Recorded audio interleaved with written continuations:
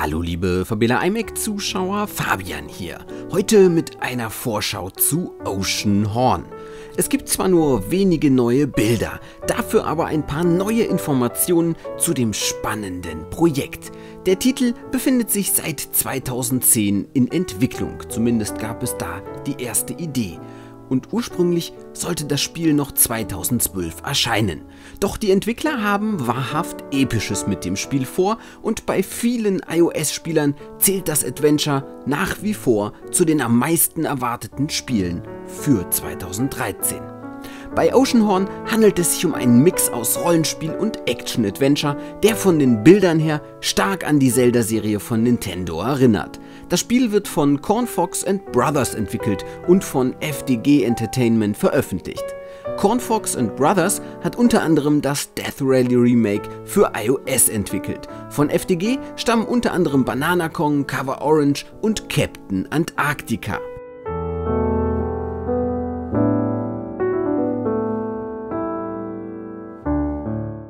Die Geschichte von Oceanhorn spielt im Land Acadia. Dieses Land wurde vor rund 1000 Jahren von einer schweren Katastrophe getroffen. Ähnlich wie die Bewohner von Atlantis ging das Volk der Acadia unter. Drei grausame Seemonster teilten das Land unter sich auf. Heute lebt nur noch eins der Monster, Oceanhorn. Der Spieler übernimmt nun die Kontrolle über einen Helden, dessen Vater sich aufgemacht hat, das Monster zu jagen. Nur mit Hilfe des Notizbuchs des Vaters ausgerüstet, macht ihr euch auf, das Geheimnis um die Katastrophe von Arcadia zu lüften, den verschwundenen Vater aufzuspüren und um es mit Oceanhorn aufzunehmen. Die Geschichte wird über Zwischensequenzen erzählt. Eine Sprachausgabe wird mit an Bord sein.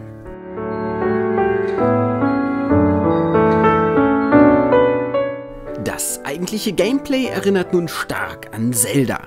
Ihr bewegt euren Helden auf einer Oberwelt und müsst verschiedene Dungeons bereisen. Diese strotzen vor Fallen und Rätseln.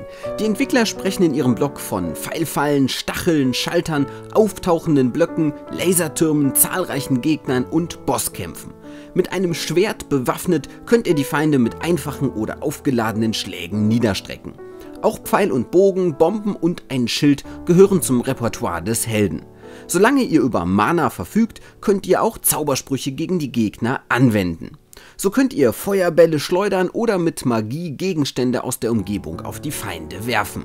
Mit Hilfe von Geld könnt ihr eure Zauber- und Ausrüstungsgegenstände zu mächtigeren Instrumenten upgraden. Eure Erfolge wie erledigte Gegner und gefundene Schätze könnt ihr in sozialen Netzen teilen. Wenn ihr gerade nicht im Kampf seid, könnt ihr allerlei Objekte wie Steine oder Krüge aufheben, um drunter zu schauen oder sie wegzuwerfen.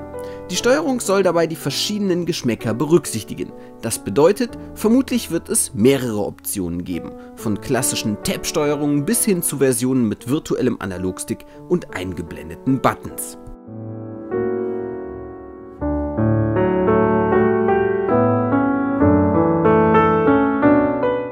Entwickler machen keinen Hehl daraus, dass sie sich an Spieleklassikern wie Secret of Mana oder Final Fantasy Adventure orientiert haben. Die Entwickler möchten insbesondere die Magie dieser Klassiker einfangen und einen einzigartigen Mix aus einer spannenden Geschichte sowie einer riesigen Welt voller Zauberrätsel und Geheimnisse erschaffen. Die bis jetzt gezeigte Grafik sieht bezaubernd aus. Die Entwickler setzen bei der Grafik-Engine auf eine Eigenentwicklung, welche die Hardware optimal ausnutzen soll. Dabei testen die Entwickler das Spiel auch auf älteren iOS-Geräten, so dass sich insbesondere Besitzer älterer iPhones und iPods, wie beispielsweise einem iPhone 3GS, wohl darauf freuen können, dass das Spiel auch bei ihnen läuft.